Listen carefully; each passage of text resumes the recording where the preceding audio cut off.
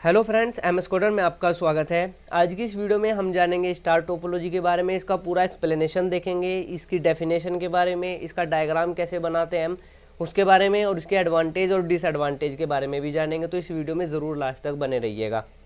In star topology every node connects to a central network device in this configuration like a hub switch और computer यहाँ पर क्या होता है, star topology के अंदर जितने भी कंप्यूटर कनेक्टेड होते हैं नेटवर्क से, वो सभी एक सेंट्रल पॉइंट से कनेक्ट होते हैं, यानी कि कोई एक सेंट्रल डिवाइस होता है जिसके साथ में कनेक्ट होते हैं। यहाँ पर आप देख सकते हो, हमने एक बेसिक सा डायग्राम यहाँ पर बनाया हुआ है। यहाँ पर देखिए, जितने भी यहाँ पर सिस्टम आपको दिखाई दे रहे हैं, ये केवल इस एक सिस्टम के साथ कनेक्ट है।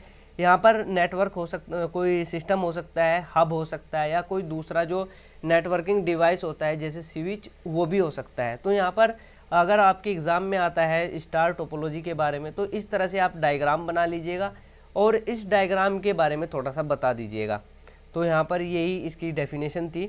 The central network device acts as a server and other devices act as a clients यहाँ पर जो सर सेंटर में जो भी डिवाइस होगा, वो एक सर्वर की तरह काम करेगा और जो दूसरे डिवाइस होंगे वो क्या करेंगे? एक क्लाइंट की तरह काम करेंगे।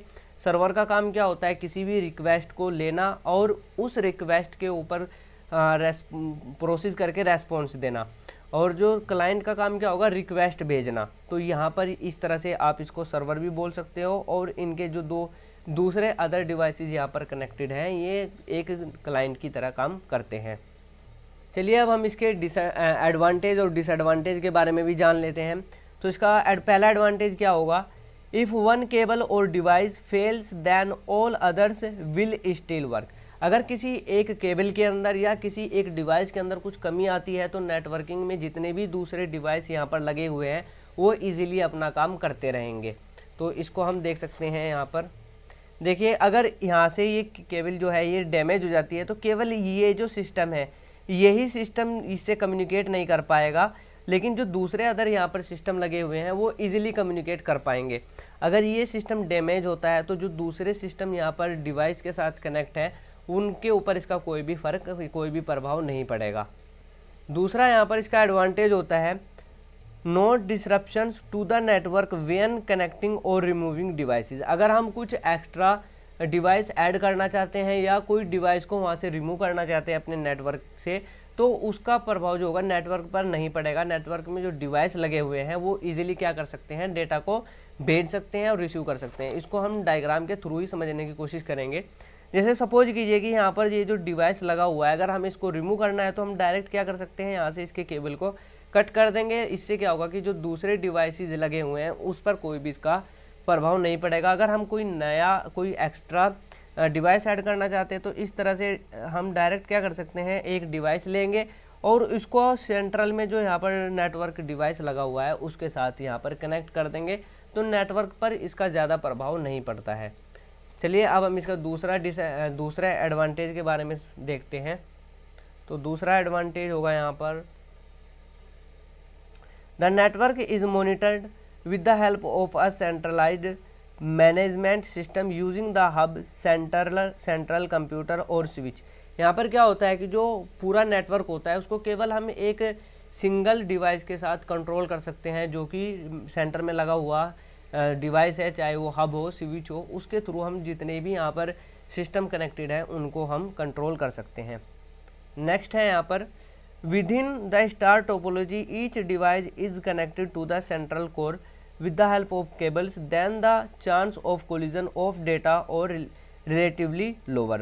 यहाँ पर क्या होता है कि जितने भी डिवाइस हैं, वो एक सिंगल डिवाइस के साथ कनेक्ट है तो यहाँ पर जो डेटा को भेजने में जो कोलिजन होता है ट्रैफ़िक होता है, उसके चांस यहाँ पर बहुत कम हो जाते हैं। देखिए, इसको हम अगर यहाँ पर समझे तो यहाँ पर देखिए। जैसे यहाँ पर ये डिवाइस लगा हुआ है, वो सेंट्रल डिवाइस से कनेक्ट है। अगर एक किसी टाइम ये डेटा को सेंड कर रहा है, ठीक उसी टाइम ये भी डेटा को सेंड कर रहा है तो आप देख सकते हो कि इस डिवाइस के लिए डेटा सेंड करने का जो मीडियम है वो अलग है। इस डिवाइस के लिए जो डेटा सेंड करने का जो मीडियम है वो अलग है। तो यहाँ पर जो कोलिजन होता है, वो उसका चांस बहुत ही कम हो जाता है तो ये भी एक इसका एडवांटेज होता है।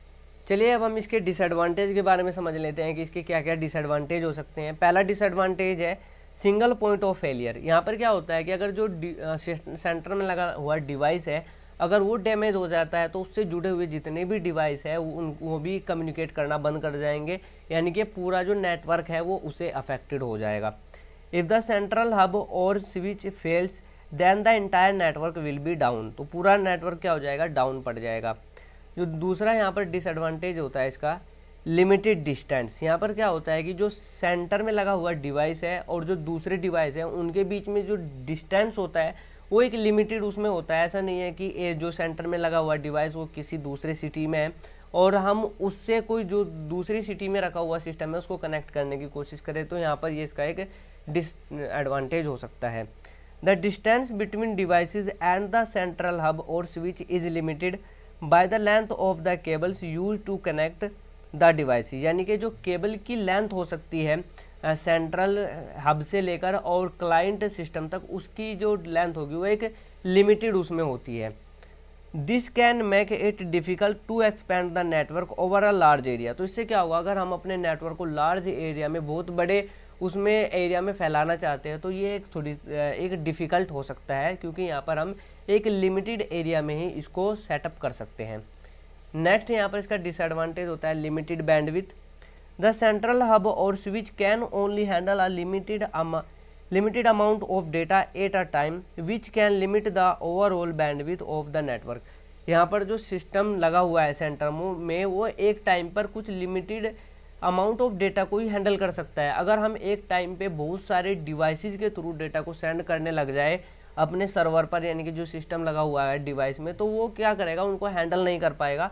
तो ये भी इसका क्या हो सकता है? एक डिसएडवांटेज हो सकता है।